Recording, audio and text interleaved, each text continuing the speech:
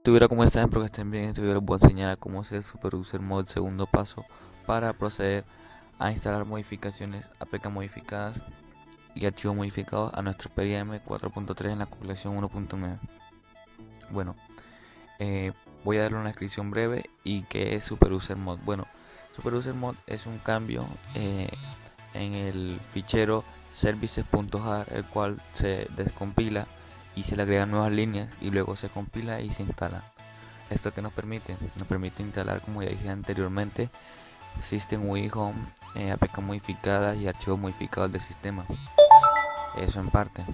Entonces, para instalarlo, eh, vamos al link que le voy a en la descripción del video. Es un archivo que pesa 28 megabytes creo que es. Y lo vamos a descargar y lo vamos a proceder a pasar a nuestra tarjeta SD. Ya tengo nuestra tarjeta SD, lo que vamos a hacer es a seleccionarlo y lo vamos a copiar a la siguiente ruta. Aquí lo tengo, service.jar, perdón me equivoqué, pesa 1.6 megabytes. Vamos a dar copiar. Y lo pegamos, perdón, en la ruta. System. Framework le damos copiar aquí. Nos pedirá permiso Rusia primera vez le damos permitir. Le damos sí le damos sí nuevamente para reemplazarlo.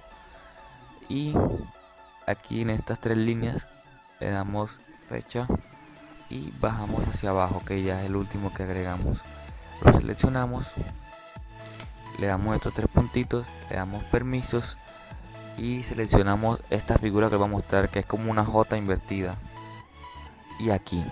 Le damos a aceptar y ya que le demos a aceptar aparece. El cambio de permisos tuvo éxito y ya somos super user mod. Ya hicimos el segundo paso para poder instalar modificaciones a nuestro sistema.